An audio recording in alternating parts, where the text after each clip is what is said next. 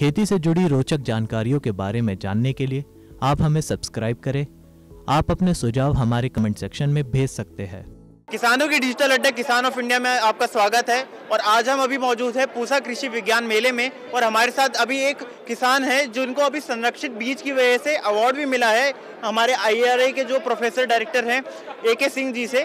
तो इनका नाम है विजेंद्र सिंह पाल जी और ये आए हैं उत्तर प्रदेश जिला बस्ती से। तो चलिए अब इनसे मुलाकात करते हैं और जानते हैं कि विजेंद्र जी को ये अवार्ड क्यों मिला, इन्होंने क्या तकनीकी खेती में अलग किया जिससे इनको ये अवार्ड मिला। तो विजेंद्र जी, आपका किसान ऑफ़ इंडिया में स्वागत है। जी, धन्यवाद। तो सर बताइए एक बार कि क्यों आपको यहाँ पे अवार्ड मिला और इसमें आपने क्या अलग किया? मैंने एक धान की नई किस्म की संरक्षित की है। उसका नाम मैंने रखा बी सिक्स और शायद उत्तर प्रदेश में उस प्रजाति का कोई धान नहीं है। इसलिए हमको ये अवार्ड मिला है और मैं जैविक खेती करता हूँ, काला नमक धान की खेती करता हूँ।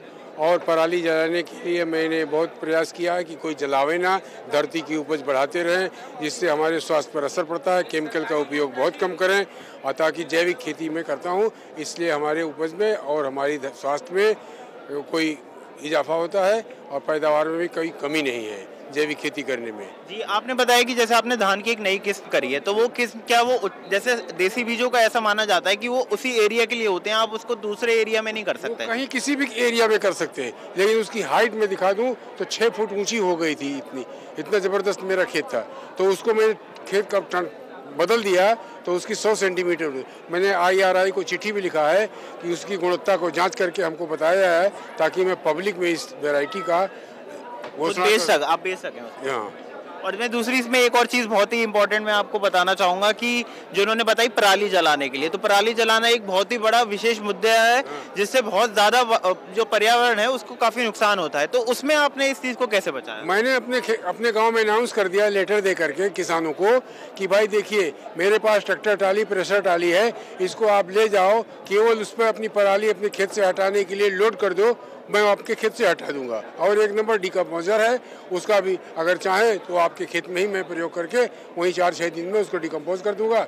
आपको हटाने और जलाने की कोई ज़रूरत नहीं पड़ेगी। ये काफ़ी अच्छी इन्होंने बात बताई क्योंकि एक पराली की समस्या पूरे देश भर में लोग इससे जूझ रहे हैं और खासकर किसान जिनको मजबूर होकर जलाना पड़ता है उनका कोई ऐसा उद्देश्य नहीं होता कि जिससे वो पराली जलाएँ इसका। आपने इसमें एक और चीज़ कही थी कि धान के साथ साथ एक और आप चीज़ तीसरी चीज़ भी आपने हमें अभी ज़िक्र किया था वो क्या था? जैसे आप बीज और इसके धान के बीज के अलावा और आपने एक और नमक धान की खेती करता हूँ हाँ। सुगंधित धान है ये। इसमें सुगंधित धान है इसका चावल में बहुत खुशबू है। इसमें जैविक खेती हम करते हैं इसमें जैविक और कोई रासायनिक का उपयोग कीटनाशक रासायनिकों का प्रयोग नहीं करते हैं। इससे उसकी गुणवत्ता बढ़ी रहती है और हमारे स्वास्थ्य के लिए बहुत अच्छा है। उसका चावल खुशबूदार है आप चाहें तो मैं देख सकते हैं मैं तो ये आपको पहला अवार्ड मिला है या इससे पहले भी आप ये रह चुके हैं? का नहीं लेकिन इसके पहले मुझे बहुत अवार्ड मिले हुए।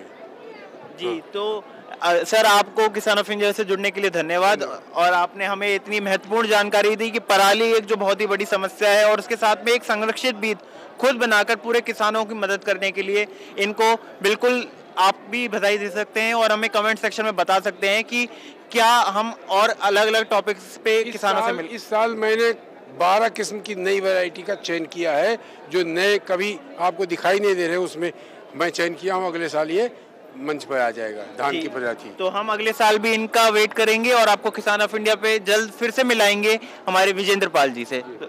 धन्यवाद धन्यवाद। आप लोगों को आपकी टीम को बहुत बहुत धन्यवाद सर। किसान ऑफ़ इंडिया के यूट्यूब चैनल को सब्सक्राइब करने के लिए नीचे दिया हुआ सब्सक्राइब बटन दबाएँ और किसान ऑफ़ इंडिया से जुड़े सभी अपडेट्स को पाने के लिए बेल आइकॉन दबाना ना भूलें।